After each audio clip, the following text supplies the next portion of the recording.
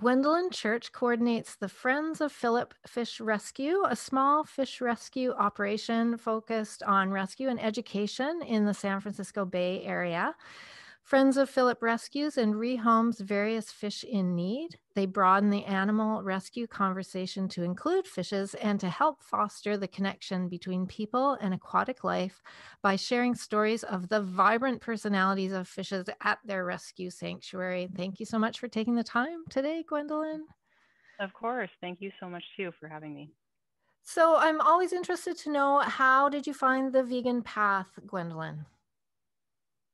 Yeah, um, I think probably you know really similar to a lot of people. Um, I went vegetarian about actually five years ago this month. Um, I kind of just accidentally came across information about how meat is produced and what happens to the animals in that process. Um, and I found these videos. I went vegetarian on the spot, and for quite you know for about six months I was vegetarian, and then I went vegan um, July of 2016, kind of in a similar process of I learned more about dairy and eggs and realized that that also isn't a good thing to support. Um, so, you know, I identified for my whole life as an animal lover and I, I grew up with pets. I've always loved animals and everything like that. And so to just come across that, that information and the realization that how I was living wasn't in line with who I am and how I saw myself was very kind of eye opening and heartbreaking as most people experience, I think. Um, and yeah, so that that was kind of it. It, it was um, a, a, reasonably quick transition, but has been just so easy and wonderful. It's ultimately liberating. I feel like. Yes, yeah, it it really really is. Um, and then I, I started to get more involved in kind of the animal rescue world. I started volunteering at a farm animal sanctuary. Um, near me about three and a half years ago, I want to say, or three years ago. Um, and that just kind of added to that connection with animals and, and with veganism and everything like that. So it's been a really great journey. Cool. And then, yeah, fishes often get left out of the conversation, right? I mean, they really do. Yeah. Yeah. They're, they're, like, I've heard them referred to as the forgotten food animal. And I mm. think that's really appropriate. Um, they're one of the most consumed animals, but we don't really talk about them. Um, you know, with a farm sanctuary, you can go visit cows and pigs and chickens and goats and sheep and all these animals, and you can see what a good life for them is like. But there isn't really something like that for fish. There's there's not really a way that people connect with fish very regularly. And the most the most common connection that we see with fish is someone who has a pet fish. Um, you know, that's how we most frequently see live fish anytime. Um, and a lot of the time the, the care recommendations that fish are sold with from like a pet store or something means that that fish can't really thrive in its environment as a pet and so when you see a fish sitting in a bowl and they're inactive and they're lazy and they're pale and all of these things then it's really easy to dismiss fish as just a you know something that's boring and not interesting and, and not worth interacting with and, and really that's just not the case at all yeah, there's no way to recreate a lake or an ocean, which is their natural habitat, right? So, yeah, exactly. That's that's a little bit of the the struggle with fish rescue. I think is that you know if, if you're looking at trying to rescue like salmon, I mean, salmon grow up in freshwater and then they live their adult life in saltwater and then they return to freshwater. And and what kind of environment could you provide for a salmon, especially given their size and and everything else that they need, that would ever fulfill their kind of natural life. And, and really, there isn't, as far as I'm aware, there isn't like a sanctuary model for farmed food fish. Mm-hmm. Um, and, you know, you can definitely have lakes and things where you can have bass and, and some of those other fish that people eat. Um, but even that is, is that you go and you visit a lake. It's not like a sanctuary type environment. Um, and I, I, hope that we'll continue to see environmental protections that allow more of like a, you know, kind of an ecosystem sanctuary, if you will, of, of, wildlife preserves and things like that, that let those fish live their natural lives. Um, but in terms of having a fish sanctuary in the same way that you can have a farmed animal sanctuary, it's, it's really not super feasible mm. um, from like a state and just logistical standpoint, I think. In in terms of learning about fish, I I remember visiting the Monterey Bay Aquarium where where Mm-hmm. there's a section that is it's just extended out into the ocean, I believe. So you can sort of see I mean that's about as the best we can do in terms of trying to see them in their natural habitat aside from diving or snorkeling, I suppose, hey. Yeah, of course. Um, yeah, and, and places like the Monterey Bay Aquarium, like that, the if if you're looking at something that you know you would call like an ethical aquarium, where um, the Monterey Bay Aquarium is in many ways a, a zoo, um, but they they do a lot of research for environmental purposes and and support for environmental preservation, and they do a lot of education for people, and they really do provide very good um, environments and housing for their animals. Um, and at the same time, they also advocate for the kind of responsible consumption of seafood, um, which is a little contrary to you know what what vegans believe and what I believe in terms of of how we should interact with fish in the environment. But um, a place like that still is a very good resource for learning a lot about fish and what we can do to help preserve the environment and and really for kind of seeing fish in a natural environment or as close to what we can can create as one. Yeah, Um, but yeah. Because they are really intriguing uh, creatures, and, and so how how did you get involved with um, the Philip uh, Friends of Philip Fish Rescue, and who, and who's Philip? Philip is um, he's he's actually right over there. He's what he's my first fifth um, and my first rescue. So about a or two years ago, um, I read on the internet that someone had had luck going to um, here at PetSmart is one of the larger pet store chains, and they found a betta fish there who was sick in those little cups and likely to die. And so they asked the manager if they could have that fish for free to help him recover. And I was like, wow, that's so cool. That sounds like a really neat thing to do. And and I am very into, you could see I'm very into houseplants. And I had this thought of I'll set up a fish tank and I'll fill it with aquatic plants because I love plants. And then if I ever have this opportunity to rescue a fish, then I'll do that. Um, and things kind of went a little backwards where um, I was at PetSmart looking at um, aquariums and and aquarium, you know, stuff to to kind of see how much money I might be investing into this. And I saw this this ultra sad little fish. His fins were rotted away. He was super skinny. He was pale and lethargic and just very clearly, even to me at that time, I, I didn't know anything about fish, and he he was going to die. Um, it was it was very clear. Um, so I took him up to the manager and I said, "Look, this fish is in really really bad shape. Um, can I take him home as an adoption to try to help him recover?" Um, and then they let me, and I I went through the whole process of learning how to set up a fish tank and how to establish a fish tank. Um, and that's just a whole bunch of work that you have to do, especially if you're trying to do it with fish um, in the in there already. But uh, yeah, I, I did that and, and set up Philip's fish tank, and um, from there it just kind of snowballed. Um, I, I rescued Philip, and then shortly after came across a few more fish on Craigslist who needed help, and, and it kind of just grew from there.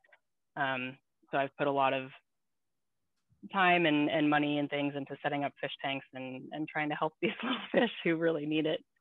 Um, but it was quite a journey and definitely an interesting experience. And so, how's Philip doing now? Philip is doing really pretty well. Um, he is a type of betta called a rose tail betta, where um, you know how like the petals of a rose overlap each other, kind of like this.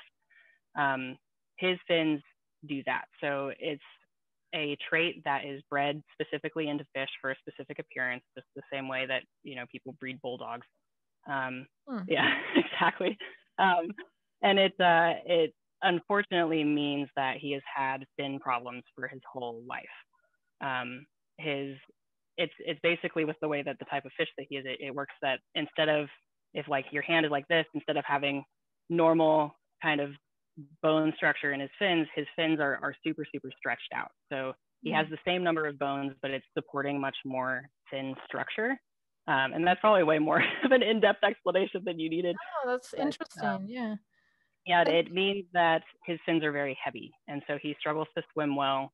He's had problems um, periodically with actually nipping at his own fins because of the weight. That's a really common problem in very large finned bettas, just like him, where it's, you know, like if if you were wearing a giant cape all the time and it were getting caught on things and, and really affecting the way that you could live, you might want to maybe cut the cape. And in, in their case, they will actually nip at their own fins out of frustration and, and kind of as a way to try to manage the size of their fins.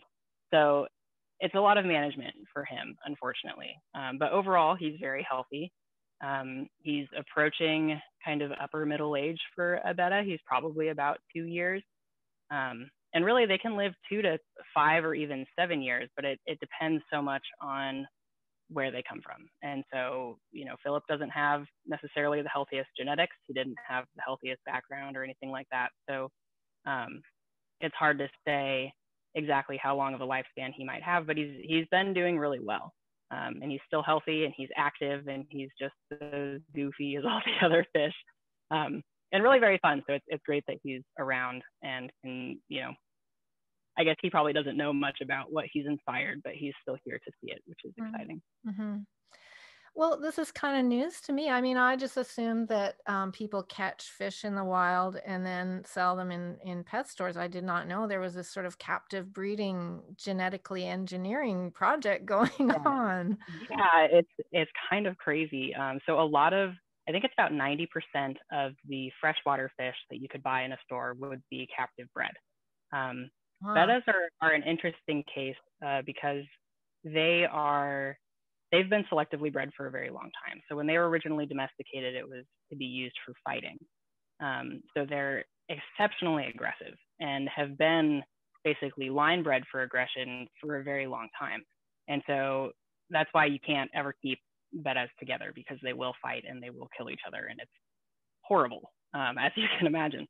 Um, but now we see them as these little decorative kind of objects. And so they're bred for different colors and different fin shapes and different, you know, body shapes and all sorts of things, as you can imagine. Um, and just like you'll see, you know, if, if, a, if a bulldog has been bred irresponsibly and people aren't paying attention to the genetics of the dog, you get a lot of health problems. You get very similar problems in these fish.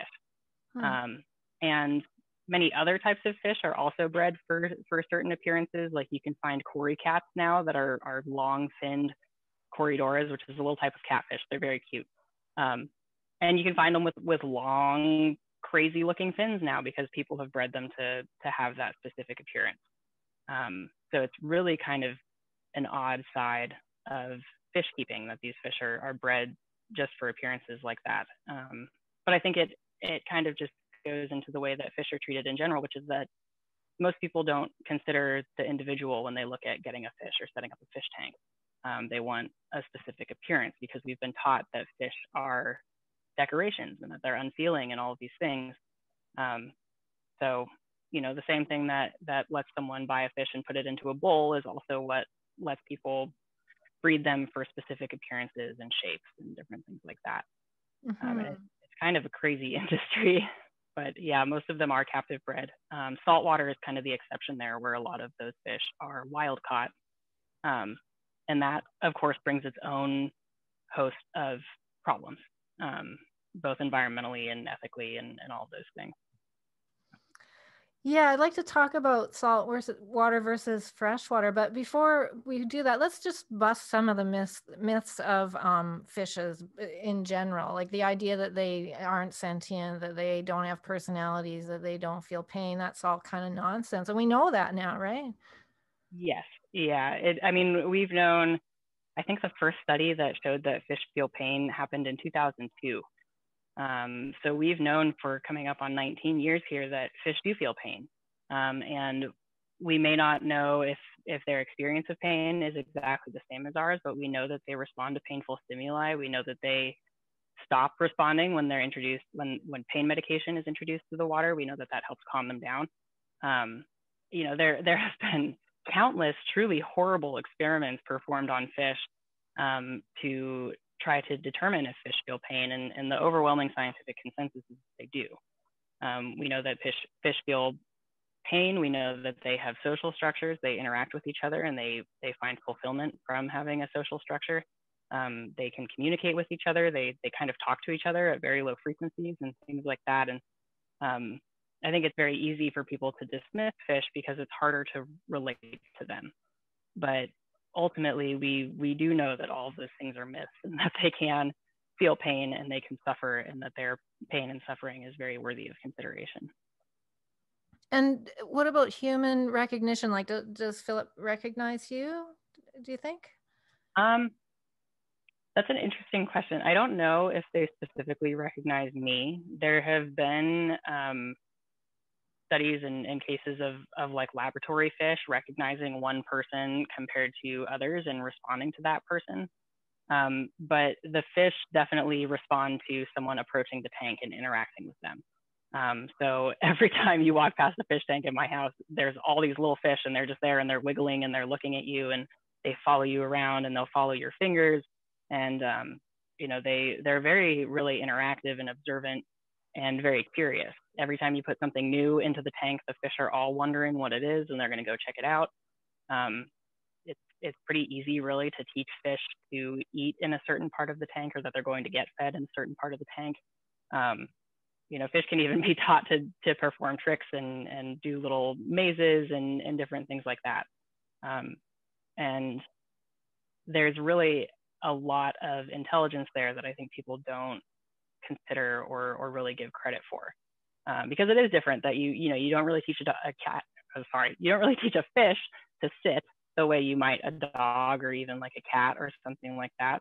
Um, but we still have seen things like if you feed the fish in the morning on one side of the tank and in the evening on the other, they'll know within a really a short period of time to go wait at one side of the tank in the morning and then wait at the other one in the evening and, and things like that. So we know that they can learn and we know that they um, have really pretty good memories.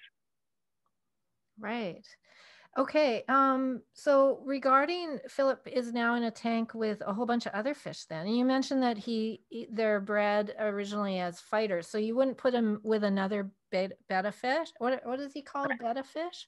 But he's okay with other uh, types of fish? Well, sort of. So so Philip is alone. Um, oh. I have something like 20 fish tanks now. Oh. Um, so so there's a lot of different fish. So um, I have quite a few tanks with just a single betta. Um, they are fairly solitary fish.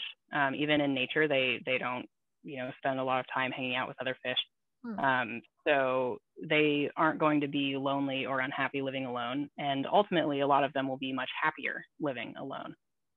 Um, but they still can do really well in a community tank with peaceful community fish. So I have um, a couple 20 gallon tanks and a couple 29 gallon tanks. And I've had bettas in those at various points. Well, I've had a single betta in there with the community fish at various points. Um, but then at the same time, I, I, had a female betta living in one of my larger tanks and I had to move her out because she was very stressed and unhappy living with other fish. Um, so it, it kind of, you know, just like us and every other animal, they have their own preferences and their own unique things that'll stress them out. And, and some will do very well in a community tank and others just really won't. Um, and it can definitely depend on the type of fish too. So like I wouldn't put Philip into a community tank because he's had ongoing fin problems. And sometimes in community tanks, you might get fish that are going to nip a little bit at each other. And if you have a long finned fish like a betta, they're more likely to be nipped at or something like that than, uh, than others. So it's it's important to just consider what each individual fish needs and, and keep an eye on how they're doing um, because it's really very clear if they're stressed or if they're unhappy or or not thriving in their environment and it's, it's pretty easy to remedy that when it happens right i mean there is a lot of maintenance involved you know you got to keep an eye on their behavior and also there's a lot of cleaning of tanks in your in your home yeah. i would guess yeah How, yeah so, um, yeah oh sorry go ahead no, I was just going to say, sort of general for people who've never had. I'm sort of contemplating. I live in an apartment where I'm not. There's yeah. no animals allowed, but I'm wondering if maybe they'd allow a fish. So, what's involved? Mm-hmm. What what would I ha- be getting myself in for? Um, the so the the minimum kind of expectation for for tank maintenance would be to do a water change at least once a week. Um, and that really is if you're looking at a tank that's 10 gallons or larger. If you're looking at a smaller tank, like I, I personally, and I think in the larger kind of betta community, if you will, the minimum suggested tank size is five gallons. Um, so I won't keep a betta permanently in a tank smaller than five gallons. Um, but when you're looking at tanks under 10 gallons, that's kind of when you get into the more maintenance area where oh. like a five gallon tank really needs a water change twice a week. Um, yeah. Can I can I ask what kind of water are you using? Oh, just tap water. Oh. Um, for for fish like bettas and captive bred fish in particular, most tap water is just fine. So you don't um, you don't have to filter it or anything. Not specifically. So you you do use a water conditioner, um, and that uh, will neutralize like chlorine and things like that, because chlorine, of course, is, is very dangerous for fish. Um, and then the tanks themselves do have filters, um, and that's that's a little more like if you know if, if you had an apartment without a bathroom, that would be kind of like a fish tank without a filter, um, where the filter it keeps the tank um, clean in terms of it removes ammonia and nitrite from the, the water once the, once the fish tank cycle has been established. Um, but you still need to do partial water changes regularly and do filter maintenance to clean out any kind of gunk that accumulates and, and things like that. So um, maintenance wise, a single tank really is, is probably about 30 minutes a week if you have a 10 gallon or larger tank. It's, it's really not a giant commitment. It's just a long-term consistent commitment where you, you really need to do that every week because you know that's what they live in and that's what they breathe and that's their whole life and so it's it's very easy i think one of the most common problems i see is is just long-term neglect of fish tanks it's it's very easy to get into that mindset of oh well it has a filter and, and i'll i'll take care of it next week or something mm-hmm. like that you know and and every extra day that that tank goes that's more waste that's accumulating that's more everything that's building up in the water and is eventually going to affect the fish so, and so you have 20 tanks with many, many fishes all together then. And are all of these fishes you're, you've rescued from somewhere? Where have they come from? And, and where are you hoping that they will go? Uh, that's a great question. So yeah, I, I, do have, inside I have 20 tanks and then I have a few ponds outside as well. Wow. Um, and really most of them have come as kind of owner surrenders. So people on like Craigslist is the big um, classifieds website here, and um, a lot of people have fish for six months and then realize that a fish tank is a decent amount of work and it's it's work that they have to do all the time, um, and they decide that they don't want fish anymore, um, and then they kind of just get rid of their fish. They give them away for free on Craigslist or or they try to sell them or things like that. And um, I will take in those fish that that need it. Um, I won't pay people for their fish, but I, I will take them in if they're trying to find a home for their can, fish. Can you um, why why won't you pay for them? Um, really, because it, it kind of just adds to the problem.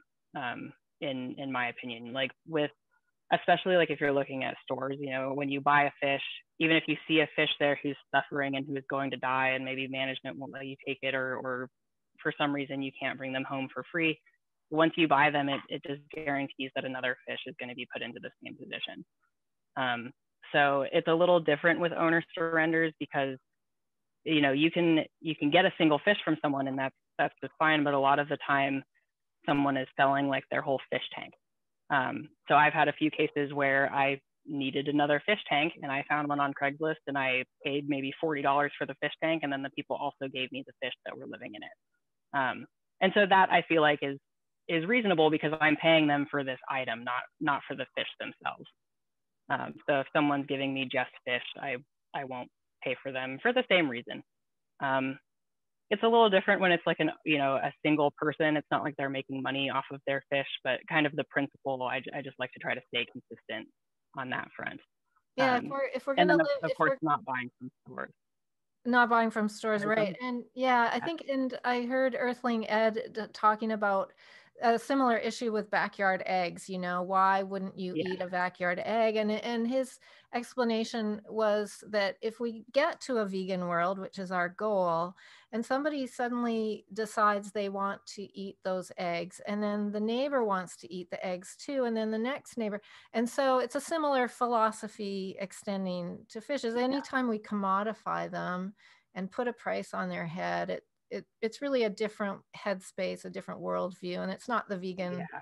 world, right? I really respect exactly, yeah. It's it's just reinforcing that view of them as an object to be bought and sold, rather than an individual who deserves consideration of of their quality of life. Right. Um, so yeah. there's enough people so, yeah, surrendering their fishes on Craigslist that you've got 20 tanks full. Is that right? It's yeah, it's to to a degree, I, I do also do um, what I call store rescue, um, which is just like how I got Philip, where when I you know I I spend a, quite a bit of money at at pet stores, as you can imagine, um, and when I'm there, I always just kind of glance through the fish tanks and the bettas and everything, and and when I see one who is really just not doing well, I will bring it up to the manager and and you know you just be polite about it and and recognize that um, these stores are stocked with so many animals that it's very hard to to maintain good care and things. And and um, I've I've found pretty overwhelmingly that if you're polite and know what you're talking about, managers are really happy to see an animal who's not doing well go to a home that's going to give them a decent chance of recovering and, and staying healthy. Um, so I do have quite a few bettas who've come as kind of store rescues in that sense, along with a few community fish. Um, but the majority of my community fish are um, kind of Craigslist, just listings of, of people who weren't interested, or um, or I've had a few people also reach out to me um, with with fish that they realized maybe you know they hadn't learned proper care and they just learned about this and they don't have the resources to invest in a hundred gallon something tank for their goldfish and so they reach out to me and and I have ponds and so the goldfish can come here and, and live in ponds and things like that. So um, nice. it works pretty well. and and so who um, are people contacting you for rescuing as well? Um, like yeah, to, to a degree. Yeah. Um, so largely it's like individual owners who, um, like recently I, I had a, a very nice woman reach out to me on Facebook because she had this goldfish that she won as a carnival prize. And she'd had her in um, a five gallon tank for, for six or seven years because she just didn't know that, that goldfish really need much, much larger space and more fish and all sorts of different things. Um, but she did learn that and she found me and she reached out to me and, and we drove like we she and I both drove a little over an hour to meet up in the middle so that her fish could come um, live here and, and have a better life. So um, I think a lot of it is kind of individual people realizing that the care that's usually recommended for fish is, is very, very inadequate. And and are people contacting you to to take fish and and rescue them from you, or are, are you oh. having all these fishes? Like to to adopt fish. Adopt, that's the word. Yes. Yeah, yeah. yeah. Um, periodically. So it, that is one of the challenges. Definitely is is finding homes for fish. Um, it can be tricky, um, in part because I I tend to have pretty strict requirements for what I'll let a fish go to. Um, so I never I never ever take in more fish than I can care for, and I will never take in a fish if I don't feel very confident that I could keep that fish for the duration of its life if need be. Um, so having that baseline means that I do have a lot of fish, but it's it's not too many, you know. Um, and so with that, it gives me that kind of liberty to, you know, I've I've had a couple times, and I I do feel bad, but I've had a couple times of having to to say like, no, I'm I'm sorry, um, I don't think this is the great a great match and and I'll tell people why and, and I encourage them that if they decide to set up a larger tank or if they want to go a different direction to let me know. Um, but I do I do adopt out fish. I've adopted out a few different bettas and things and and some community fish as well. Um, but there are definitely more people looking to um, surrender their fish than there are looking to adopt, um, which well, is a struggle and I guess part of it is you can't, it's not like you can ship them anywhere. Like you could put a little doggy in, a, you know, it's not the ideal situation, but people do that. They transport dogs rescue, mm-hmm. but you can't really do that with fishes, I guess. You, you can. Um, and it's, it's a little complex. You know, you have to make sure that um, the, the water temperature is as stable as possible. You can do things like put in heat packs and things. Um, I don't ship my fish. Um, I know that there are rescues that do, and I've considered it, and it it may be something that I'll look more into in the future. But for now, I'm pretty strongly of the opinion that my fish have really been through a lot in their lives already, and so putting them through shipment seems like a, a huge thing to add to to what many of them have already gone through. I mean, most of them were already shipped probably from like Thailand or, or somewhere similar where these fish farms are um, to be sold at a pet store. And so, you know, they have a huge long history already, and then adding a shipment across the United States or something like that on top of that just feels like a lot. Mm-hmm. Um, so maybe I'll look into it eventually as, as we continue to grow or, or things like that. But for now, we, we don't ship at all. Oh, that's nice. Yeah. Um, so well, what about uh, saltwater versus freshwater? Do you have saltwater tanks as well? I don't. Um, saltwater, I don't have saltwater tanks for a few reasons. The first is just that they're way more expensive. Um, you can very easily invest well over a $100 into a single freshwater fish tank. And again, I, I don't have them, so it's a rough estimate, but I would say it's probably two or three times more expensive for saltwater. Um, there's a lot more that goes into it. You need to mix salt water and, and be able to test the salinity and, and all of these things of your water to make sure that it's right. Um, you know, because saltwater fish and all fish really are, are very sensitive to water parameters and water quality and, and all those things. So um, I don't have saltwater in part because of the cost. And then also because where like if, if you go on to say Craigslist or something, you might on any given day, you might find a betta and some goldfish and some tetras and all these things that people are looking to just get rid of. They just don't want them anymore. They're sick of it. Um, but because of kind of the higher investment in saltwater fish, it's really, really uncommon that you find saltwater fish who someone is looking to just give away. Um, so if you do see a clownfish or something like that, it's always going to be for sale. And they're going to be for sale for 200 300 dollars for the fish. Um, and since i don't feel super comfortable like giving someone money for a fish that they're selling um, it it kind of makes it a challenging area to get into in terms of like saltwater fish rescue. Um, right. it's something i'm definitely interested in doing in the future and i imagine at some point i'll have saltwater tanks. Um, but for now i'm i really focus on freshwater um, and kind of the the heavy hitters, if you will, in the freshwater fish area, which are the bettas and the goldfish, and then some of the community fish as well. Mm. I don't have like giant indoor tanks um, for cichlids and things like that. I, I tend to stay on the smaller side, mostly because of space. and what and what happens when they get sick? You know, are there f- fish veterinarians? There are. Um, there as you can probably imagine, very uncommon, unfortunately. So, um, you know, in, in my city, there are no fish veterinarians um, that I'm aware of. There are several exotic vets. So I have two um, geckos, and I could take the geckos to the vet very easily. There are two or three vets in my town that I could see for, for reptiles.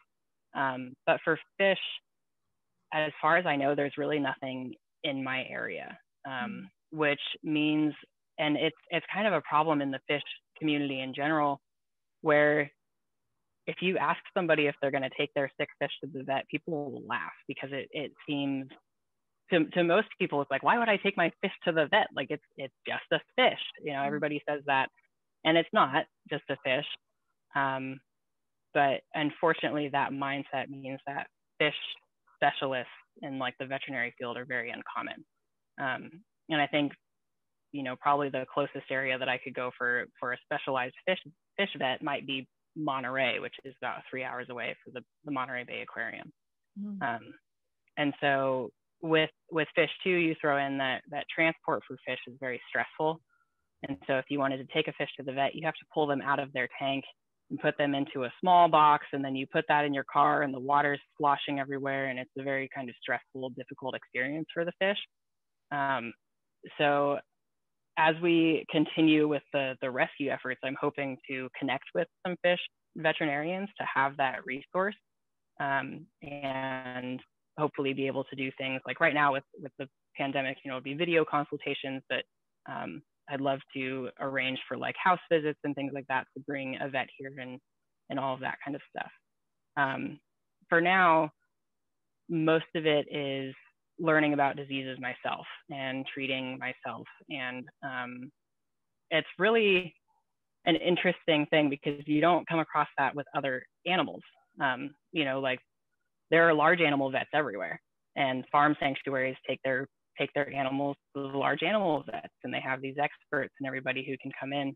And with fish, most of the experts are fish stores and people on the internet who have who who sell fish and have extensive fish kind of collections, as they call them, and and things like that. And that's where a lot of that knowledge kind of comes from. So it's it's a little more of like a tribal knowledge kind of interesting community in that sense. I'm not sure if I'm describing it very well, but um, a lot of the common diseases are really very treatable with medications that you can just get at the fish store.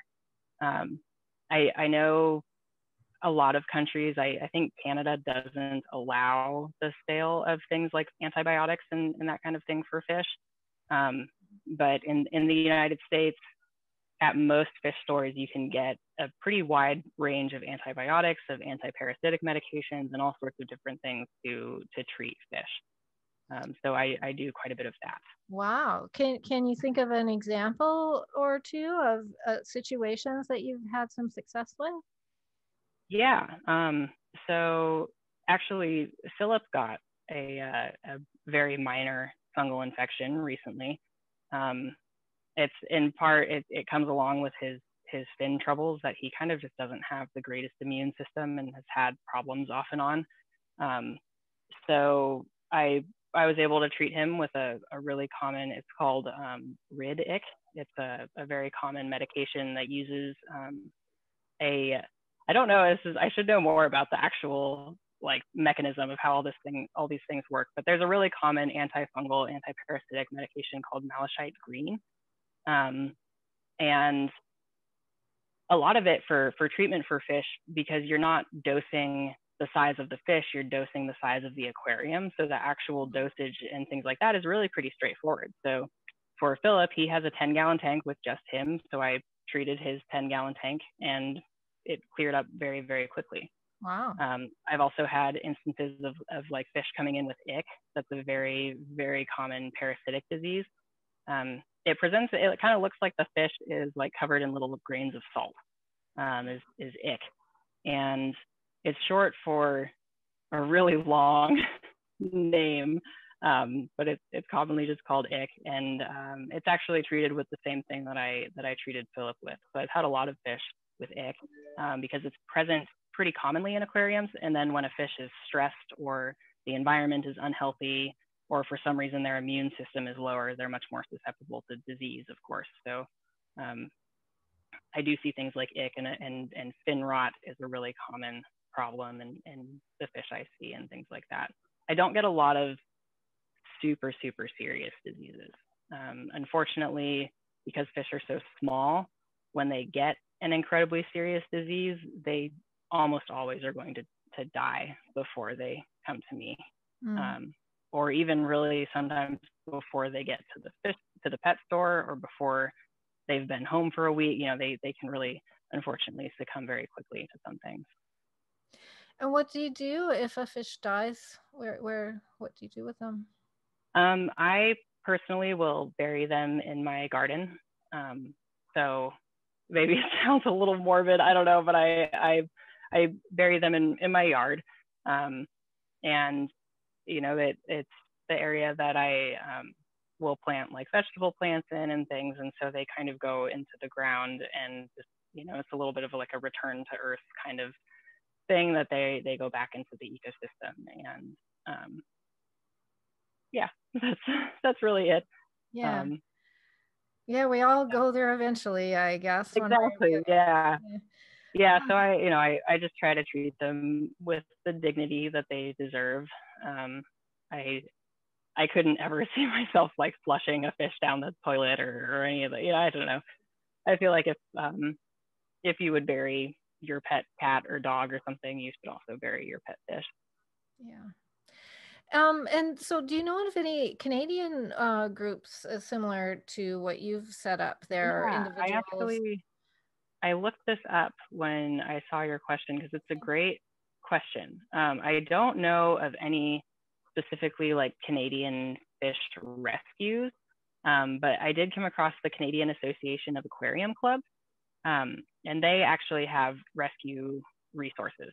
So um, they had a, a page on their website about fish rescue and really the, the focus was to discourage people from releasing unwanted pet fish, which is a really significant problem people in the that? aquarium. Oh yeah, definitely.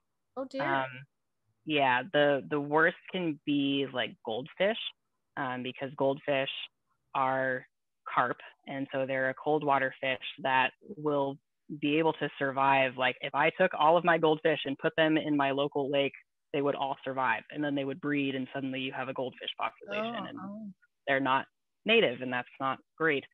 Um, so yeah, releasing um, unwanted domestic fish is, is really a problem. And either you see them become like an invasive species, like with goldfish, or they just die very quickly because the environment is completely inappropriate. Um, so yeah, the, the Canadian Association of Aquarium Clubs, um, they have a page on their website for rescue resources. Um, and they also suggest that you can advertise on, it's a website similar to Craigslist. I'm not sure how you say it. E- EGD or, or something like that. I'm, I'm not oh, sure. Yeah, okay. I think Kijiji or something like that. Kijiji, yeah, yeah. It's like a classified kind of um, page. And that's sort of you know, it's it's kind of just like Craigslist. Um, and if well, if if you find fish listed on there, it's a great way to be able to help fish who need it. And then if you're ever if someone's ever in the situation of needing to rehome fish, um, I hope that they're just very diligent in where those fish might end up going, um, and that right. they receive the proper care and, and tank size and things. Right. So I'm thinking, you know, COVID has uh, encouraged us to think of new and creative ways to be in the world and new hobbies yeah. and things to keep us busy. Maybe somebody listening would be interested in uh, set doing something similar to what, what you've done, which started with just one fish. Is there yeah. sort of a, a, coalition of fish rescue people that uh, communicate with each other and support each other? You know, there there really isn't. Um, there are a variety of Facebook groups um, that focus on fish rescue or just on fish keeping, um, you get an interesting kind of combination of communities because even people in the aquarium hobby will sometimes laugh at the idea of a fish rescue because even though they go through all this work to set up a fish tank, they, they, there's still that view of fish as this commodity and this item that you you buy, and then when you no longer want neon tetras in your tank, you get rid of them and you put something else in. Mm-hmm. Um, so there isn't currently like a, a large network like that, but it, it would be wonderful to see something like that um, appear. And, and there are a variety of fish rescues through the United States. And there are quite a few people who do kind of exactly what I'm doing, um, where, you know, they have three or five or 20 fish tanks and they bring in fish who need help and, and then try to find them new homes. Um, but as far as I know, there isn't like an organized network. Okay. So if people wanted to check out Friends of Philip, um, I guess Facebook and Instagram are your. Yeah.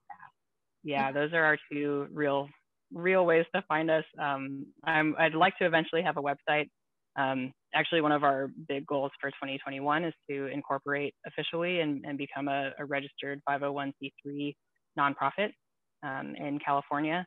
And so that is kind of the first step. And then we'll be looking at things like a website and, and a little more infrastructure there. So for now, it's just Facebook and Instagram.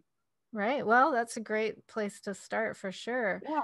All right. Is so is there anything else, Gwendolyn? Thank you so much for taking this yeah, time. Is there anything absolutely. as we go that you want to leave people with? Um, oh, that's a very good question. I think the the main thing that I try to think about with fish in particular is that um, you know we don't get to see them regularly or naturally, really in any capacity. They live in an area that we don't typically think about and that we don't regularly visit in any way. You know, maybe we swim in a lake once a year or we swim in the ocean once a year or something like that. But um, they do really live these vibrant lives and have complex social structures and needs and individuality. And so I just encourage people to consider that when they're um, thinking about what kind of pet they might be interested in getting or what they might want to have for dinner tonight um, and to just recognize fish in their individual um, and and beyond that too I, I think it's interesting to think about fish as supplements you know fish oil supplement we don't need yeah. that we don't need no, we that don't. we, definitely don't go for the algae just like the fishes do right like yeah. go source mm-hmm. or fish um, fertilizers a lot of that a lot of fish fertilizer yeah fish are, are very, very widely used. I mean, they're in pet foods, they're eaten by people, they're, like you said, they're supplements and fertilizer and so, so, so many things. Um, and really, it's like you can take an algae supplement. Like I take an algae DHA supplement, um, and you can do that. And you can use vegan fertilizers, and you can um, simply not eat fish. There's a lot of reasons to not eat fish um, and that they're individuals and can feel pain is is definitely one of them. But there's also you know a lot of heavy metals and and all of the pollution that we put into the ocean goes into the fish. Um, they they live in the water and they breathe the water, and the things that we put into the water are found also in their bodies. Um, and so, looking strictly at what you're putting into your body when you're eating fish, there's a lot of things in there that you you probably really don't want. Um, and it's it's really good to just avoid all of that and look for the plant-based options instead. Hear, hear. All right. Well, let's let 2021 will be the year of the fishes. That would be wonderful. And that would be great. Okay. Thank you so much, Gwendolyn. Yeah, thank you.